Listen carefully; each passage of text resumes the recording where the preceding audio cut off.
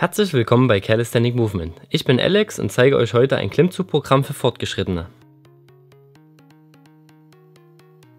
Das Programm besteht aus drei verschiedenen Pull-Up-Variationen. Jede Variation wird in vier Sätzen mit je 90 Sekunden Pause trainiert.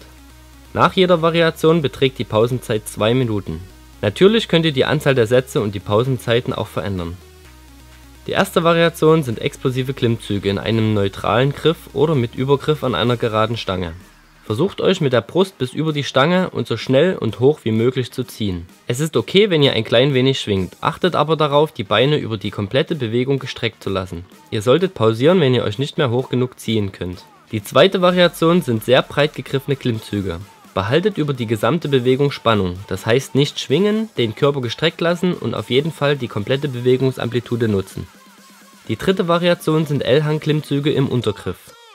Versucht eure Beine über die komplette Bewegung horizontal zu halten und streckt die Arme, wenn ihr unten seid.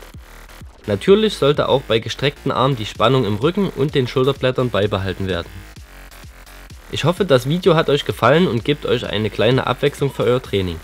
Bitte vergesst nicht Calisthenic Movement und Alex zu abonnieren. Danke und bis bald.